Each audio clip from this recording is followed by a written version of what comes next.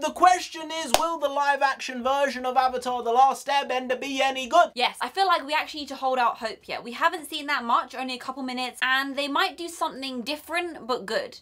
I don't like different, I just want good. Because the original is a masterpiece. So you change anything, it's a little bit of a question mark. The original creators, they jumped off. They said, we don't like your changing shit. I know. And they said, well, we're going to be changing shit. And then the OG said, well, I don't want to be here then. So they left which isn't a good sign, but it doesn't mean this cannot still be a good show. Is it gonna be great? Is it gonna be better than the OG? No.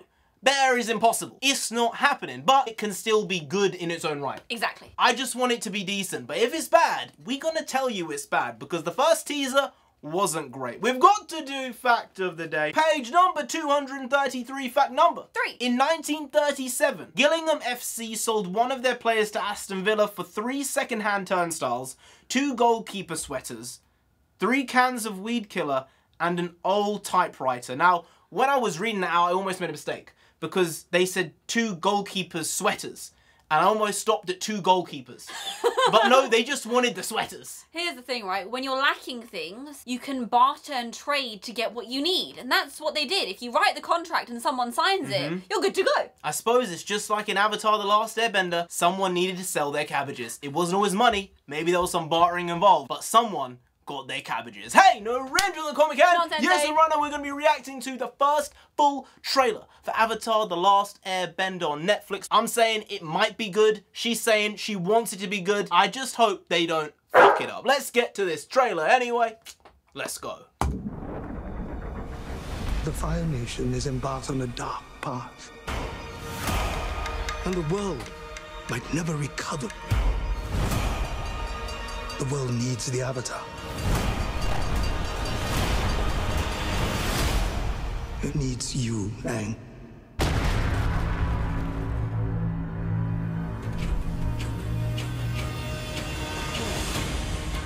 Those drums. The Fire Nation has destroyed everything in their path. If the world is gonna have any chance, it's gonna need Aang.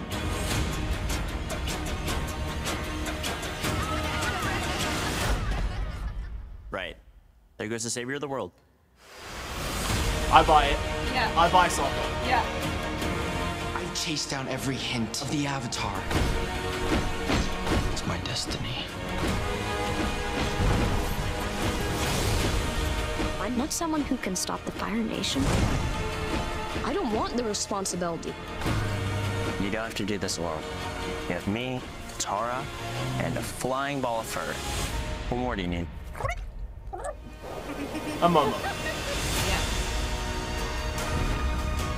Oh, okay. Oh. It needs you. Remember what it is we're really fighting for. The ones we love. I'm the Avatar, and I'm gonna save the world. With my friends.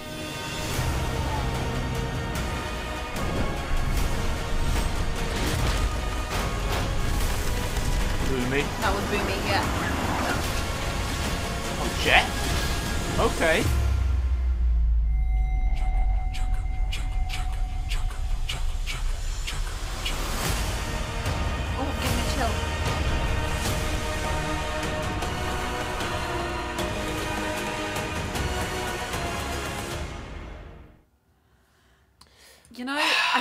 Staring so intently, my mm -hmm. eyes started watering. It just there no gave tears. that release because of the music, There right? are no tears, but like, they're seconds away from falling this down. This was so much better than the teaser trailer they put out a couple months ago, maybe even more, but this is different class. This felt like I'd just actually watched the anime to some degree. Yeah, these yeah. shots, I cannot tell you the feeling in my chest when I heard her say Aang and not Aang. This is actually the way everyone wanted it to be way back when. Mm -hmm. And some of these shots, the moves, the martial arts they're actually using. One thing about that previous we will not talk about the cry film. the cry coming out the cry coming out and that's what's great about this because we came in both a little bit trepidatious wanting it to be good and after this trailer we're actually thinking maybe our minds have been changed. As long as they do the CGI right and it does look pretty good, I'm gonna be happy. Some of the background didn't look 100% done. I think there needs to be some work on those as of yet. The actual bending style, the look of it, that was probably close to 9 or 10 out of 10. It looks really grounded where it needs to be with the way that they're setting up the environments and the clothing. When you add in the good visual effects, it brings it up a level. I think the acting is going to be the big, big question mark because there are so many kids on the cast which can really pull it down. But